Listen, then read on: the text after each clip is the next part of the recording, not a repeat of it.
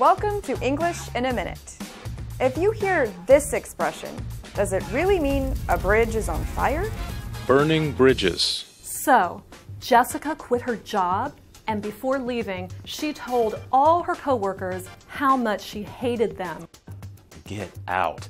Why would she burn her bridges like that? Oh, she's known for burning bridges. No one in her last job even talks to her. Why burn a bridge to someone who could help you later?